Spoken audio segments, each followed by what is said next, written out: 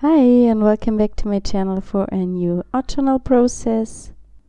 I used the textured mushrooms today to create an autumn themed page. I really enjoy using autumn colors in my artwork. I'm working in my envelope art journal. I have a video linked in the info box where you can watch the making of such a journal. Um, I have gessoed my pages and I start by stamping a little bit of texture to it. Um, that's something I hate about the uh, easy mount. When it becomes older and I don't take care if I make it a little bit dirty or something like that, and this doesn't stick anymore to any acrylic block. I try to clean it, I clean the block, but it doesn't work. So our newer stamps have all the sticky backside and you can just use a wet baby wipe and wipe the stamp backside and clean your acrylic block of course and the stamp will adhere itself on the acrylic block. If this doesn't work good for you, you can also use a normal glue stick and stick the stamp temporary to your acrylic block and that's uh, better than using the easy mount I believe. I really like to use the easy mount on larger stamps such as our Mix the Sentiment stamp because then it's easier to stamp. By the way, the stamp set that I'm using is the Carved Whimsey Wood stamp set. I now go in with the DecoArt Media texture paste and I'm using a stencil from Stamplorations. Oh no, I forgot, it's not the texture paste, I'm using the crackle paste and one tip I can give you if you buy crackle paste, use it. Don't store it forever because it becomes uh, dry and you see it here it's a really hard and dry paste already and it also doesn't crack anymore.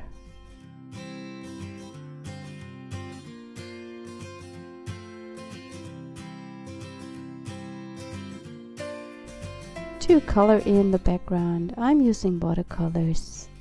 Watercolors are not the best to work on gesso, but I really like the movement they have and I enjoy the behavior of these colors and as I know that I won't go on top with many other things, it's easy to use them.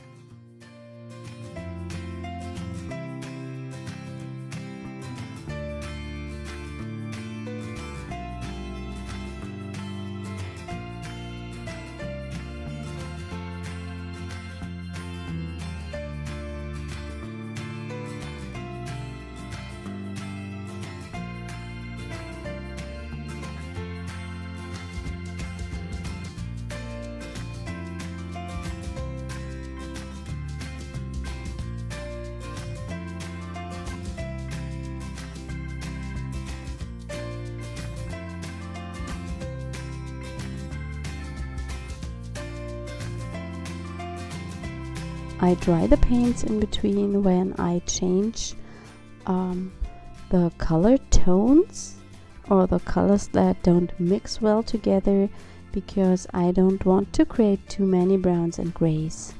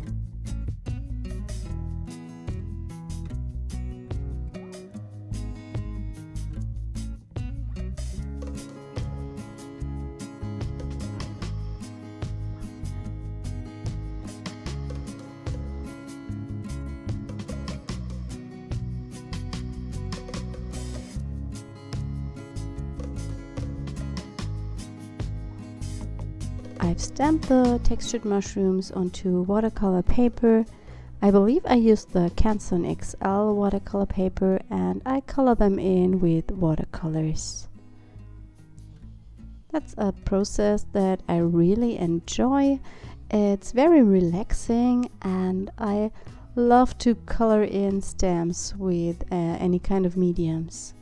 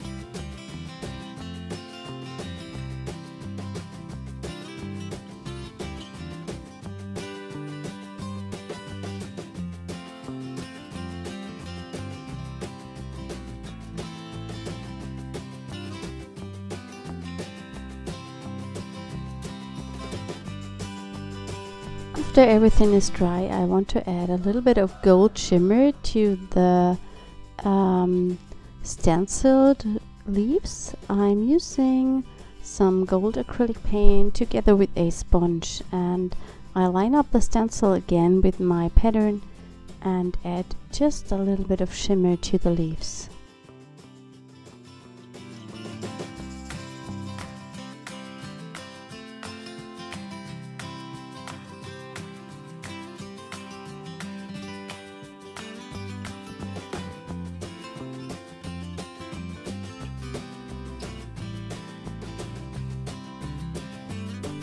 I'm adding some black splatters with an acrylic paint spray.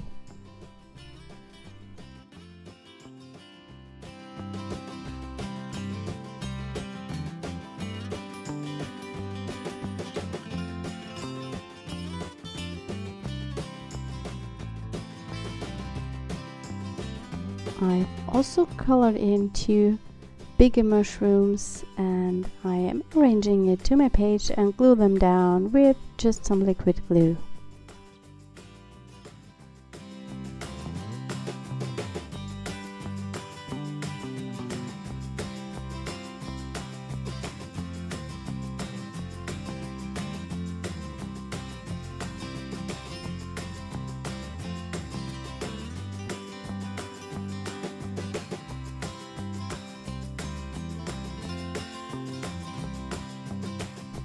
I'm also using the watercolors to add a bottom and a little bit of shadows to the mushrooms to create more dimension.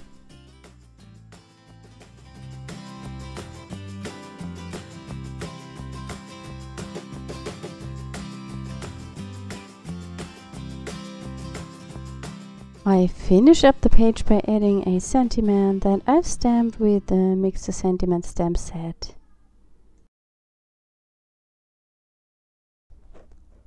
And this is my finished page. I hope you enjoyed today's video and I hope you see us next time. Bye!